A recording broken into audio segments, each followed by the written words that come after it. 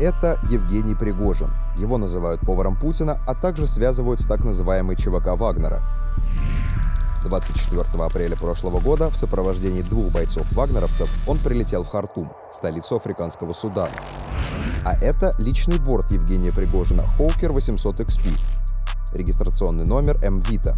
И последние два года он летает на Ближний Восток и в Африку почти как регулярный пассажирский рейс.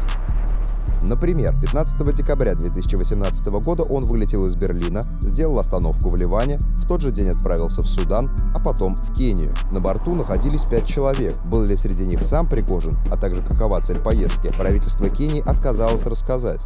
Через три дня Мвита уже с семью пассажирами отправился из Кении в Чад, а 23 декабря с остановкой в Бейруте вернулся в Москву.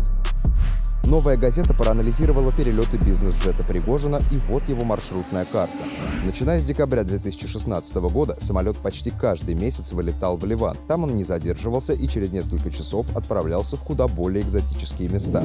21 раз за пару лет Мвита появился, то есть выключил транспондер или вылетел из отслеживаемой зоны, в небе над Сирией, где гражданской авиации почти нет. Компании, аффилированные с Пригожином, кормят российскую армию, часть которой находится в Сирии. А группа Вагнера, которую СМИ связывают с кремлевским поваром, начиная с 2017 года, освобождает и охраняет нефтяные и газовые месторождения. Четверть доходов от добычи углеводородов получает не чужая Пригожину компания. Помимо Сирии, самолет Пригожина летает и в Африку. Первый раз в небе над континентом Мвита был замечен 10 ноября 2017 года. Через месяц после этого полета Москва получила от ООН разрешение на отправку оружия и инструкторов в Центральноафриканскую республику.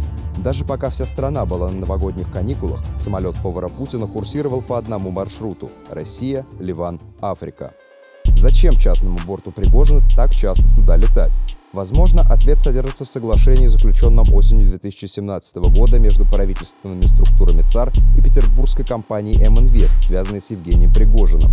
Компания получила право на разработку месторождения алмазов в префектуре Верхнее Котто. Российская сторона может платить только наличными, а доставлять деньги должна частным самолетом. Всего, по данным расследования агентства Bloomberg, интересы России в Африке затрагивают 10 африканских государств. Издание утверждает, что структуры, связанные с Пригожиным, работают или скоро начнут во всех этих странах.